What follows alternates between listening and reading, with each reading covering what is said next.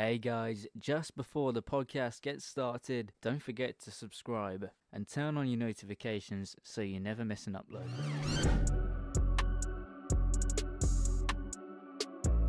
Hello, everybody, and welcome back to the Yellow Squared podcast. It's a Sunday, James. We're back recording another loss. Uh, Huddersfield at home, the annual loss at Hud- against Huddersfield at home, James. How how are you doing this morning? I'm I'm doing well, uh, personally. Um, you said it's our annual loss to Huddersfield. I think it's technically our annual implosion at home to Huddersfield. It's, very true, yeah, uh, we always take the lead.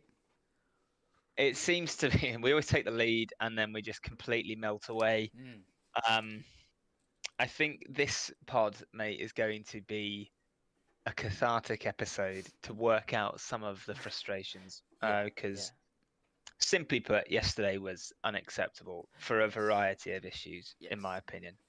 Yeah, But um, we'll get on But yeah, to all yeah. of that and more uh, in in the later stages of the podcast. Yeah, Huddersfield at home, and like you said, then we'll be chatting about uh, some news that was filtering around. I appreciate it's from Talk Sport, so it's basically just trust me on that. Um, that's the source essentially. But uh, yeah, the, there is news that uh, apparently Ismael is on the brink of being sacked. So we wanted to kind of sit down and, and just sort of have a chat about what does that actually mean for Watford, and uh, does that signify, um, you know, the start of the end for Gino Pozzo? And uh, we we kind of feel like we have one of these podcasts a season now, don't we? We had one last season. Um, yeah, March, so- March, February time. March, Yeah. February time, isn't Yeah, it? That's, that's so- usually the point. we've got to this stage of the year again and, and have decided we need another podcast. Um, you know, I mean, ideally, it would be helpful if we could get Gino on the pod just to explain what's going on. But uh, He's not returning my calls. no, no, he hasn't been responding to my emails either. So I don't think he's going to be coming on any anytime soon. I don't think Scott Duxbury will be either. But there is no better place to get started to, to forget everything else for a moment. Uh, all things Watford. We will get started with guess the player, James. Thirteen ten to you currently. You are Yep. quiz master for this week, so I will let you get things, get the ball rolling. Get the ball rolling. Get the ball rolling. Yeah, very apt football reference. Yes, mate. Guess Yeah, the player. Um, guess the player this week, ladies and gentlemen. Um, uh, are you ready, mate? Because uh, I've had to drill through the annals of uh, sort of Watford Oh, programs and players, and I've been chatting to a few people as, as Okay. to come up with a name that uh, would be a bit of a throwback, or maybe not, um, to see how uh, Okay. to see how well you know Watford okay. uh, Watford okay. players. Uh, seeing as I managed to dig Matthew Connolly out last week. Are you ready for clue number one? yeah, I am ready. Yeah. Okay. I signed for Watford at the start of the 2006 2007 season from my childhood club, Győri ETO, scoring my first goal in a League Cup tie against Hull City in October 2006. Brilliant. What a fantastic clue that is. Right. Well, this. I can sense, I can smell a one pointer from a mile off here. Um, could you could you just up now. repeat parts of that clue again? So they, they signed in 2006, 07. signed, at, signed at the start of the 06 07 season. Yep. They came from their childhood club, Győri ETO. I Okay. believe that's how you pronounce it. Uh, yep. I'll trust you. and they scored their first goal in a League Cup tie against Hull City in the October of that season. in October that season, so October 2006. Yes. Okay, okay, right. Um, I haven't got a clue what team that is or what country it's from. Um, I'm gonna guess it's not in the uh, not in England. something, correct. Something Yeah. tells me it's not. Um, Yep. Okay, boyhood club. So they're they're obviously not an English player. Um, Correct. I, I really can't think of many players from 06, 07 that aren't English or at least British. Mhm. So this is a this is gonna be a complex one for me to guess. I tell you what. Uh, Oh, no, I, t- I tell you what. I will say they were a striker. I'll just add that in there for you. I'll add that in there for you. I'm going to guess. I don't know if he signed it in this season or not, but I'm gonna have a guess and say Thomas Priskin. I mean, I really shouldn't have said that at all, should I? Oh, you love to see it. Three points on the board. That's a, that's a sensational. Oh I, should, yes. The, I shouldn't have said the strike a bit there. Oh, shouldn't have said it. I was worried for you. Um, yeah, Thomas Priskin. Oh, unbelievable. Yeah, I can't believe that. I couldn't He's- really tell you much about Thomas Priskin. Um, Well, I can tell you he made 68 appearances for us, scoring 15 goals. Uh, and then he, he moved to Ipswich Town for 1.7 mil. wow. Yeah. and he um, ended up he, he scored more goals internationally in less games um, for Hungary. Oh wow. He scored 17 goals in 63. But uh, Phil, I, I I was surprised by his goal return actually as a Mhm. Watford player. I thought he scored a lot more than that, but but clearly not. Must have just but to be scored fair, more uh, important goals. Yeah, I think so. I think it was the final season for us where he kind of really became a the sort of the main striker, really, didn't he? Because because I don't really remember him in. The, he didn't he didn't do too much in the Premier League, and then Well, none of them In- did really, did they? no, um, and then I don't think he did too much in the in the um in the, the season after that. Uh, So we really only had one season with us and scored 15 goals in that season. So Wow. I reckon we could have probably done with a striker like that at the moment. Yeah. Yeah. I mean, Andre Gray is a fair call play, mate. Well, yes, fair play, mate. 13 all. Yeah. GG's. Wow. I actually can't believe I've dug that out, by the way. I genuinely That's- couldn't tell you a single goal he scored or what any of the goals looked like. Um, and I couldn't really remember any player that wasn't English in that from from that period. So Yeah. I've pulled know, it he out was- somewhere. He was uh, he did score uh, in the Premier League on the 9th of April, right at the end when we beat Portsmouth 4-2. If you can remember that. That's probably why. Yeah, Yeah, I feel like I've seen those highlights somewhere. the game where Gavin Mahon thunder swear worded it into the uh, into Yeah. the in, into the top corner. But he actually scored. Uh, he he scored his first Premier League goal a lot earlier than that, but the game was abandoned. Oh, Um, it rained off. I think it was against Wigan. Yeah, against Wigan on my Oh. notes. So yeah, there you oh, go, very mate. nice. 13 Uh, all. yeah. Gets the player done for the week again. Gives us more time to, um, I suppose, go into what we're about to go into now, eh? Yeah, I don't know if that's a good thing.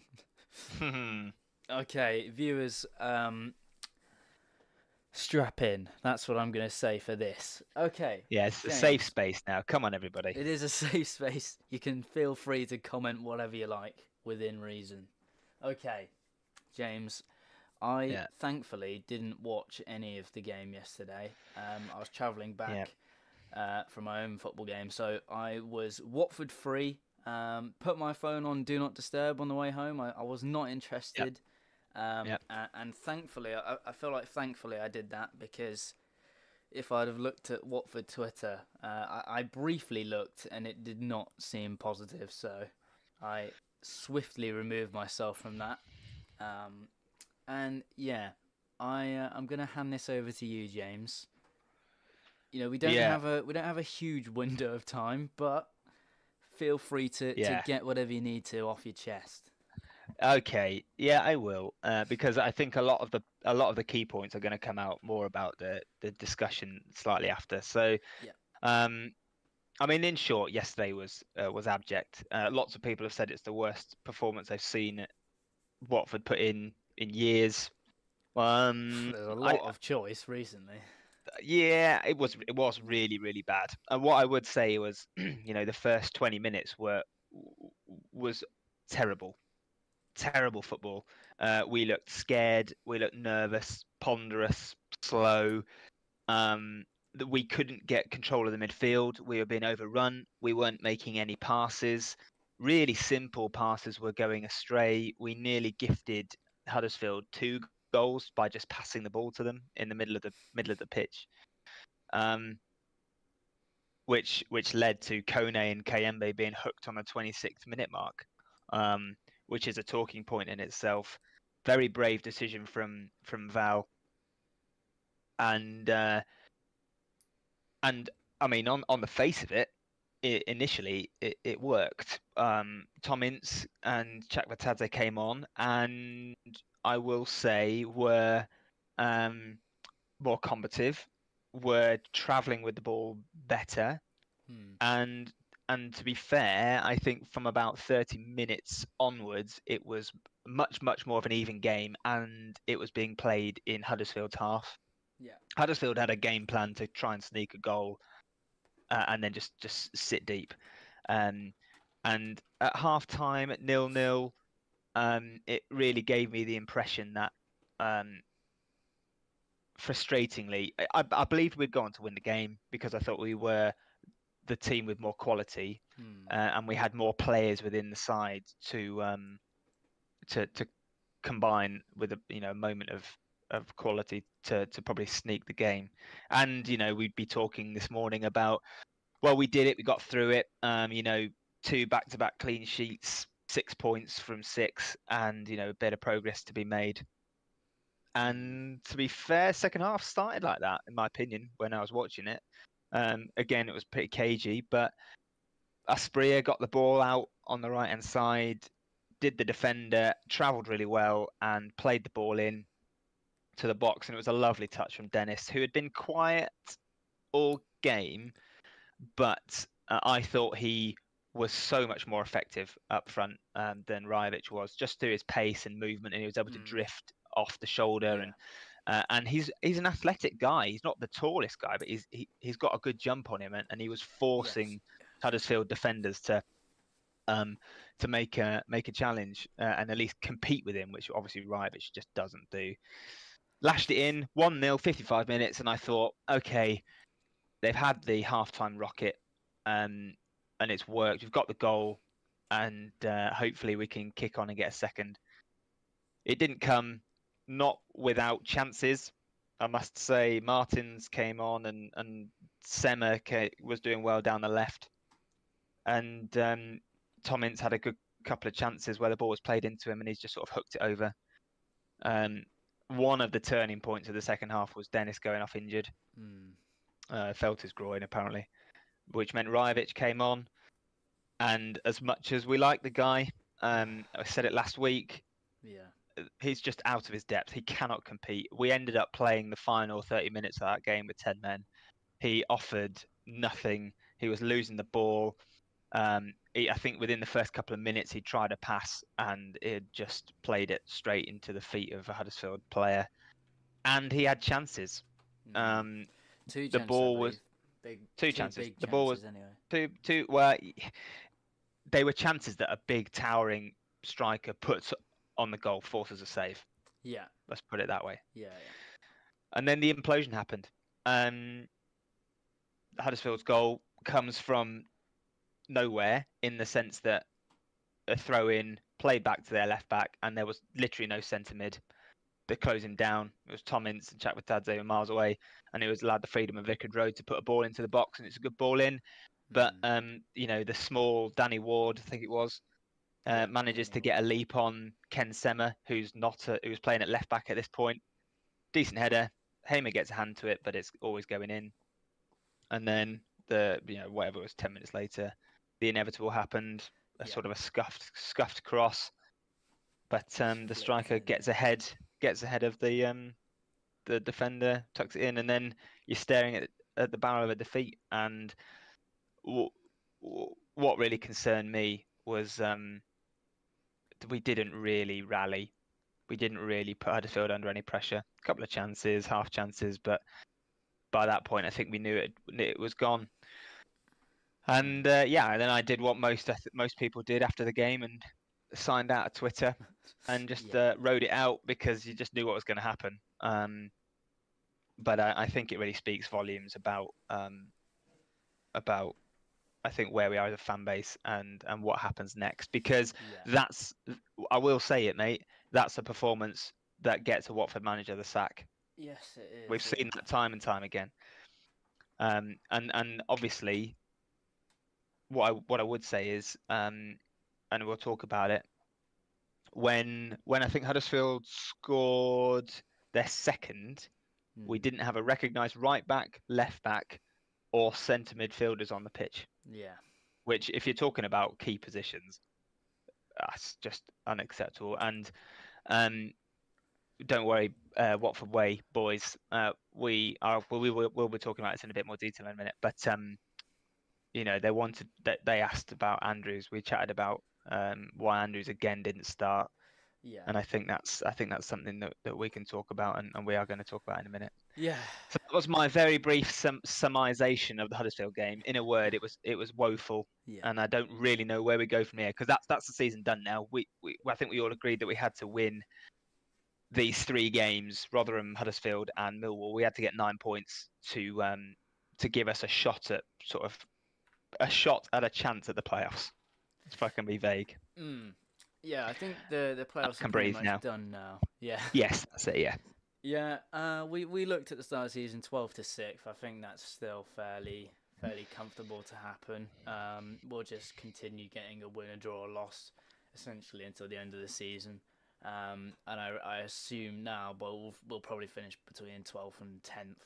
Um, I would make Yeah, I could see us. I could see us dropping down to thirteenth, fourteenth, fifteenth, something yeah, like that. but- I, I'm I could see it, it. as well, but I'm just it's, it's hoping me that that uh, that it's driving that.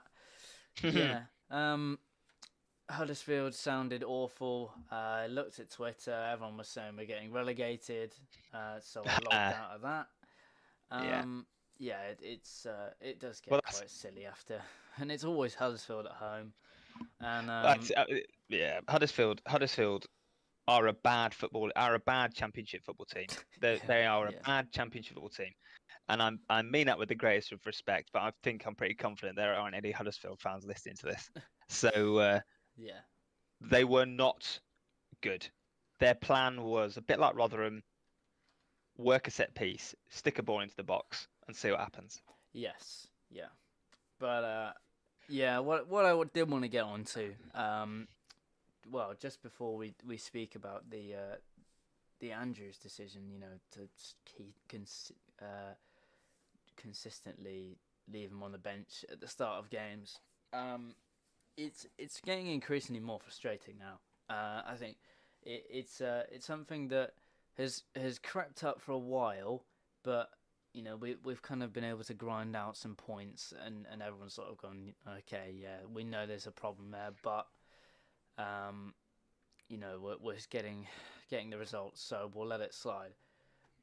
As you mentioned, you know, when we conceded the second goal, we didn't have a recognised right back, left back, or centre mid on the pitch. I understand when something isn't working, you've got to change it, and in all fairness to, to hooking two central midfielders after 27 minutes, that shows something clearly was abhorrently wrong um, in that Mm. midfield. And it was. At the same They were rightly substituted. I imagine they were rightly substituted. However, looking at the bench, you then no longer have a central midfielder on on Yeah. on the bench. Chakvetadze is the only player that off the bench could play midfield. Um, Tom Ince isn't a central midfielder, and you know you're you're playing your central midfielder Tom Dele-Bashiru at right back when you have two recognised right backs on the bench. You have Ryan Andrews. And Ngakia is back from injury. I'm not expecting Ngakia to start at right back, but what has Andrews got to do now? He's been rested for possibly five, six games now. The guy Yeah. can play football. His legs work. Yeah. Bringing him on in the after after the 85th plus minute is so unbelievably pointless for him, and the position. It's genuinely so confusing to me why Yeah. you would leave Deli Bashir at right back. And I appreciate he's not doing a bad job there, but he's No. not a right back. And you don't have Yeah. another central midfielder on the bench. It Yeah. it just decisions like that are confusing and rightly or wrongly hooking players is not gonna help with the dressing room atmosphere. And you know, we were Well, chatting to you. Well, you were chatting to the Watford way yesterday about you know, potentially has Val lost the the dressing room. Um, I think personally that's that's a surefire way of doing it, hooking players, and you yeah. know, you're not buying into a philosophy where people are playing out of position, and people aren't getting a look in when their position is wide open. No, this is. It's Uh, all, yeah. uh, it's all adding into a melting pot that is not positive. No, it's not. And um, you know, I think that's key. And I think that's a really key point to bring out is, you know,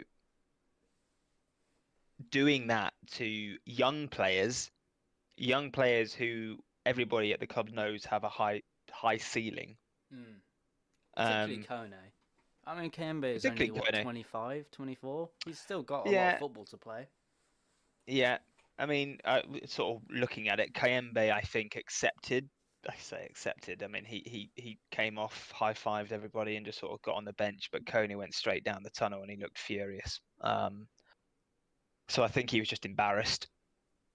What what you don't want to do when you're in a rut and you are um, struggling for form, and what you need is a team that is together Hmm. you sh- you cannot be doing singling out players like that No. because that's what and I, I I know the rumors have started um about give it Troy till the end of the season. I mean, I'm going to say it right now. I would hate that decision. No. I'm really sorry. yeah, Any no, Troy Deeney fans, I just I do not. Firstly, I don't think he's a very good football manager. I'm going to put it out there. And secondly, I don't like the way he's carried himself uh, since he's retired. I, I don't like the way he's spoken about football, what he's done. Um, I just I, I don't want that kind of um, I don't really want that kind of culture coming into the into their dressing room. Um, but you know, you, you'll you'll break um, you'll break people's uh, morale, and then then you've lost the dressing room, and you you've then lost the one thing that we know that the Pozzos value, um, which is what is happening on the training ground, what is happening with the squad. Um, I think it's a surefire way to to get to get the boot. Yeah. And it- I think you're right, If it- something if it is- continues, it, it will happen because we know how the Pozzos operate, and and whether that's obviously that's not the right way of doing things, but this is the situation we're in. You know, we could have said this five, six managers ago now. Rob Edwards, Slaven Bilic, Chris Wilder, pretty much everyone from the past three or four seasons you're looking at now, bar Yeah. Roy Hodgson. But Yeah. But it's they, it's the they same. don't give him it's- time. They don't give him players. They don't give them the the backing they need, and all that happens is the same culture is there, season on season. It all comes undone eventually, and the Pozzos give him the boot, bring in someone who'll make a positive impact for a couple of months, and the, Yeah. the process just recycles. Starts and, again. and that's Starts where I understand why people get so frustrated with the Pozzos and why Yeah. Twitter goes into complete meltdown as soon as we Yeah. lose a game of football. Uh, I mean, I mean, for the first time ever, I'm properly on the side of a change in ownership. Yeah. If if Val goes this week, or if Val goes, uh, no, if Val goes this week, I will be firmly right. I'm done with with Mr. Pozzo because it's insanity. It's Mm. literally the definition of insanity. You cannot keep doing this. You cannot keep changing a manager thinking it will work. He hasn't even got the cover these days to be like, don't worry, you've got a quality squad to work with and we expect better. No. You didn't back Val in the window, either which was which was the time to do it. Let's be honest, we were on the up. We went into New Year's Day, you know, with a with a really entertaining game of football against Plymouth. We couldn't defend, but we scored some great goals, and it was, you know, it was at least an enjoyable game of football. Hmm. And the the mood was up. People were interested, and there was just a general good vibe around around the club. And uh, and he's not backed him. We spent the money to sign Chakvetadze. I'll leave that for other people to discuss whether that was a good thing to do or not. Um, but if if the decision was we're not backing you because we want to clear the debts and we so we can have a fresh start in the summer, then you cannot sack Val. It doesn't logically. Uh, it doesn't make it's, sense. It's literally you're shooting yourself in the foot because you've You're starting one, again. You've given one reason as to why you would keep a manager and rebuild, and then Yeah. you're literally doing the other thing. And you Yeah. are right. It's the definition of insanity. You're doing the same thing over and over again, expecting a different result. And unfortunately, the main constant behind all of the failure that has occurred in the past, I don't know, five seasons, is at the fault of the Pozzos now, and it's it's plain to see for a lot of people. You know, I'd I'd like to think we've been quite balanced on the podcast over the past year. Yeah, We've Yeah. we've supported certain decisions that a lot of people haven't, Yeah. and we've you know maintained there are some reasons why things are being done. Looking looking at certain sackings, Bilic, for example, bringing in Wilder, he was a Yeah. a, a decent appointment, but then you're looking at the other side of it and thinking, why was Wilder even brought in? Why was Bilic brought in?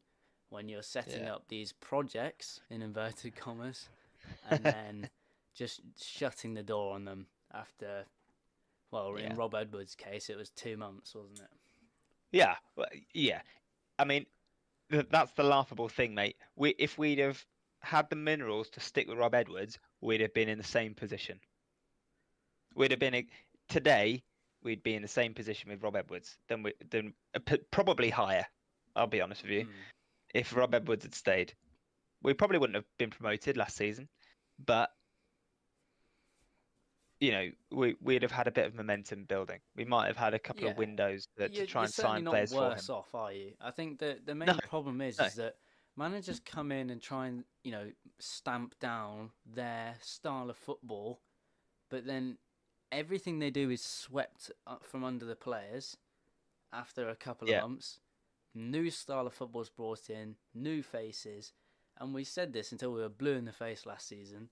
The players need consistency, and in the case of certain players like Sarr, it's completely ruined their careers.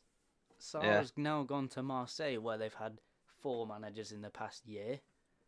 He his career has been completely hampered by constant managerial changes, and it's not exactly working in Udinese, is it? Either. So Nope. I think on multiple occasions now, you're looking at it and thinking, I don't quite believe it's the manager's problem anymore. No, it's, it's absolutely not.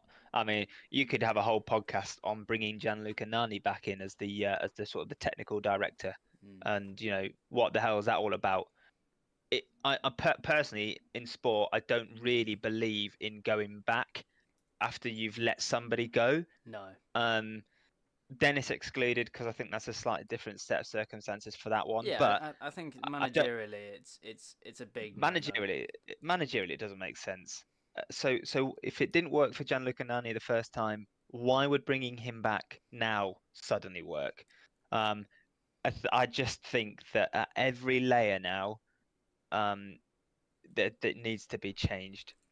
It just needs to all yeah. be changed. I did want to just say actually, um, I was thinking about that. Now you, you mentioned you're bringing a new technical director. Mm. They have stripped things back now, and there is nothing to hide behind anymore.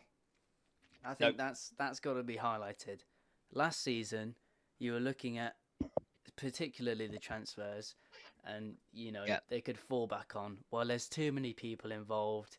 It was getting too clouded. The Yep. transfers. There was five or six people involved, including various managers. It was there was Yep. it was too busy. Now you're looking Yep. at it this season. There's two or three people involved, including a very hands-on manager that you didn't back. Now you're looking at it and going, I can't hide behind that anymore. Yeah, and people and- are noticing. Yeah, people are noticing. We we said on the pod, just changing tack very slightly, just going back to Val. We said the one thing that would get Val the sack is his uh, insistence on a small squad and his Yes. insistence on being happy with a small squad. And also, the other thing that is now coming to light is, frankly, I think sometimes he's too too honest with the press Hmm. because he's said about the small squad. But for example, yesterday, he said before the game kicked off, we've had a full week, we're rested, we're raring to go, and you are going to see a difference. You will see what a full week of rest means for the club, and you'll see us come out and attack. And I, I mean, I don't know how to describe, I can't put into words just how bad we were. And that then just makes everybody turn around and go, well, you've got that wrong then. Your coaching isn't good enough if you're saying that a full week of rest means this, and then we turn out a performance of that quality. Mm. Um, I want. I mean, I want to be clear. I don't want Val to get sacked. No, no, Because I. No, I, I, don't want him to. I don't want him to go. go. He's been as he's been the best that we've seen make a real positive impact in such a short space of time. Yeah, yeah. um, The the I mean, it was November set in stone. I think- December. I think Wilder did a good job of highlighting a lot of problems in the club, and it was it was refreshing. Yeah. Uh, to he say did he did he did nothing to um, affect them though, did he? At least No. Val at least Val has tro- well. Uh, we'll wait to see what happens next, but at least Val's worked to sort the discipline out. He's tried to bring a style of play. He's been clear with the per- player he wants. Yeah, Um, and you know, just looking back to the sort of the first couple of games of the season, we were we weren't winning games because we just couldn't finish the chance, and we were we were playing good football. It was Mm. enjoyable football, yes. and that's what's vanished now. That's completely dried up, and they looked they they just looked terrified yesterday. Yeah, yeah. I think they're uh, they're scared of making mistakes, and you're right. You know, that really nice football we had at the start of the season. Um, lots of patterns of play, shifting the ball around nicely, inverted fullbacks. Um, Yeah. that seems to have really disappeared off off of a cliff. Um, we're now it now seems to be relying on moments of quality that really pull through for us, uh, individual quality, and you know I, I think potentially if results continue to go in this direction, and the performances are lackluster, and then you're looking at internal problems, players are not Mm. buying into it anymore, then Yeah. in a few weeks' time we'll be sat on the podcast saying, "This is who is replacing Ismael. This is what we think Yeah. is going to happen between now and the end of the season," and yeah, it's the- it's the same cycle. It's the same cycle over and over again. Same But cycle, and, I don't and, want to and keep then it's not repeating to. myself, No. um, because No, you're then starting we to sound like fall into Pozzo. the cycle. yeah, yeah, yeah, yeah. It's it's it's it's depressing, and I think Yeah. yesterday I was it was just so deflating and demoralising to realise that we are we're a picture of a corner flag away from starting the cycle again. Yeah, Um, and uh, I just I don't I just don't want that. no, I just don't. no, I don't just think don't anyone does. Um, No. Yeah, it's not it's not a nice position to be in, really. Uh, you look at the league table, you're thinking, with the squad we have, I would expect to be maybe a couple of places higher, playing some decent football, properly rebuilding. But I feel like it's it's disappearing slowly, and I'm not particularly sure what you do to rectify it. Um, I think, like you said, January was the chance to bring in fresh players, maybe make the squad a little bit bigger, just so that we have more depth. Yeah. Um, and now I feel like the timing has has is, you know, shrinking for for Ismael, and I'm not sure really if you get to the end of the season, how he then sets up a preseason that he had similar to the start of this season, where he got the players on board. It was all very nice philosophy and a great working atmosphere. I'm not sure how you fix that problem if, you know, if there are grumbles from from players in the squad. Uh, I think you're looking at people like Louza, well, they got rid of him, and now similar issues are happening. Well, that's players. it. That's that's it. Uh, that's the problem now. That's the problem we face. And for uh, uh, this way, you come back to you know the Koné point, which we've made already. But he Koné is has been so good for us all season. Mm, You know, really a great engine in the midfield. Some great goals. Been a real bright spark. Made didn't play well. Had a bad game. young pro is going to have a bad game, Yeah. um, and you hooked him, um, and if if he if his head drops, then ha, you know how he has Val has to just manage that really well. I really hope that he took him to one side yeah. today, you know, after the right. game, or or today had a phone call with him and explained it through to him Yes. um, yeah, to yeah. try and get him back on because if he's just blanked him and you know uh, what was it Ian Bealding uh Mike Yeah. or whatever the Mick whatever the Sunderland Mick Beale uh Ian Beale I think it was EastEnders um then uh, then that's just awful yeah, it's awful curtains, isn't it? Um, mana- man yeah, I saw an interesting thing from uh, Andrew French say that Koné actually took a shortcut in in front of the media suite, which he's never done before. So obviously it, it did have some sort of an effect on him. Um, but like you said, I, I really do hope that there was a phone call today or something just to explain to him because Koné, whilst having a really high ceiling as a professional football player, you know, we, we could see him shrink back into his, his shell that he was in Yeah. for a lot of a lot of months before I don't know that that f- switch flicked in him um you know around October time last last year yeah but yeah yeah, Yeah. I think I feel like that's enough ranting for today James um yeah I think so. Nice to I get think so. nice to talk everything out. I, thi- I think uh yeah. my opinion is uh, is much more solidified now than than it was before when you actually talk That's it what it's all think about. it. Um that's what it's all about.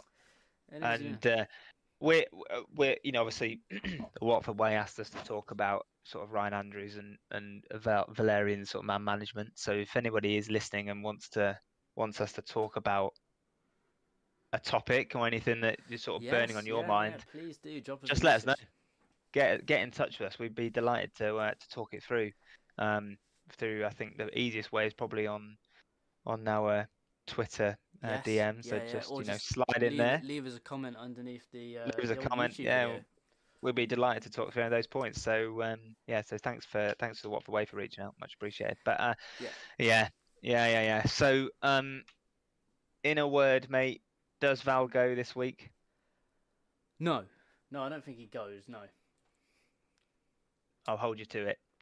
Oh dear, this is going to be clipped, isn't it? Yes, yes. All right then. That that's feels like more than enough ranting for for today. Um, and I'm sure an emergency pod will probably be coming in the next couple of weeks. Um, possibly on, on a Tuesday evening or something crazy like that. We'll, we'll Something terrible, yeah. speeding to, to record a, a 20 minute podcast talking about whether we're on where we're whether we're in with a shout of the Watford job. Um, Yeah, and uh, yeah, it's looking at um, looking at how Frank Lampard set his teams up uh, for uh, Derby County and Villa because he'll be he'll be the next name in. Yeah, yeah, so he, he certainly will be on the on the list of many names as well as Kike Sanchez Flores Part Three. But I on the plus side, on the plus side, Mm. at least we've got Millwall next week, who we always travel uh, to Millwall really nicely really well too. Yeah, and uh, to the new den. That's always a good place to go. yes, a fantastic place to go with a spiraling fan base. That's uh, quite Yeah. possibly the best fixture possible. Um, all right then, Oh. guys. Thank you so much for taking time out of your day to listen to the podcast. I've got to say, if you do watch this on YouTube, thank you so much. Recently, um, you know, the, the support on there has actually been crazy. Uh, people have been engaging, watching the pod for, you know, a, you know, really decent length of time. So if that is one of you, thank you so much. Um, yeah, we appreciate all the new followers on Twitter and the new subscribers everywhere. Um, it's nice to, to see the pod growing, um, isn't it, James? Oh, it's great, yeah. Yeah. So thank you very much for listening, and we will see you again very soon. Hopefully next weekend, and hopefully not with an emergency pod, but needs must. Take care, Hornets, and uh, keep the faith. Chin up, everybody. See you later.